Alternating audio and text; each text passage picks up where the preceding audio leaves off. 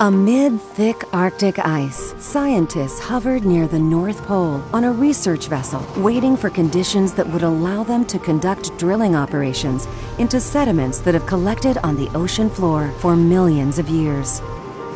Powerful icebreakers preserve the stability of the drill rig by keeping large ice floes at bay.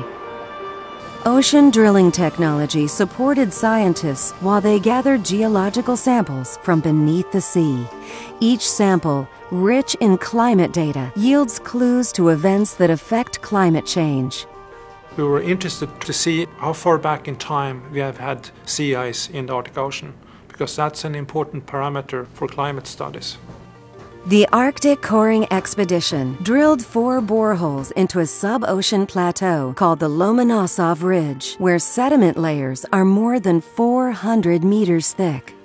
We saw sand layers and, and pebbles in the sediment record. And since our drilling location is in the middle part, in the central part of the Arctic Ocean, they can only have been transported out to this position with ice, sea ice or icebergs. Look at these records here on the ridge.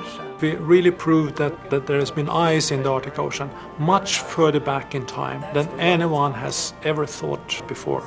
Despite evidence of long-standing ice, plant spores found in the cored material indicate that freshwater ferns had grown on the surface of the Arctic Ocean 55 million years ago, during a brief period called the Paleocene-Eocene Thermal Maximum, PETM for short.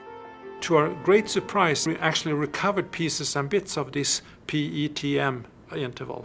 And we saw that in the Arctic Ocean, we had summer temperatures of over 23 centigrades, which is like very warm. It's like subtropical.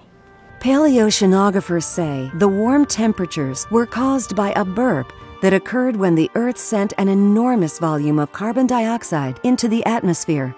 A brief greenhouse effect was produced, followed by the eventual return to cooler conditions.